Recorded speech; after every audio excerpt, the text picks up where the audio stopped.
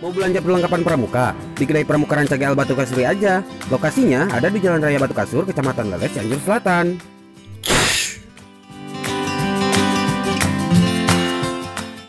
Oke, selamat datang di channel Yayan Hadianto dalam dunia terbalik. Jangan lupa tekan tombol like, subscribe, dan loncengnya, oke?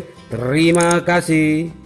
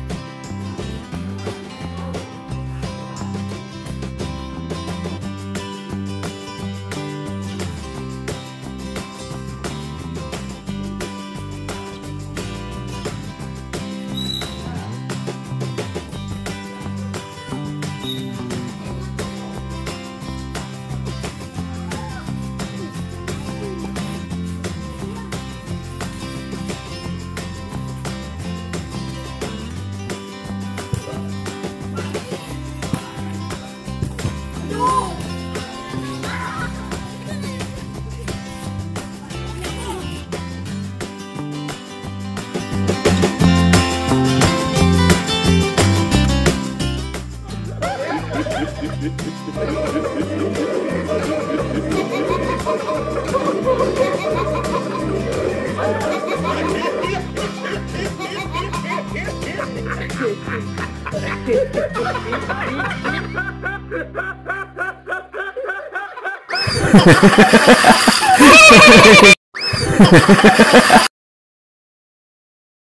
belanja perlengkapan pramuka? Di kedai pramuka Rancage Al Batu Kasuri aja.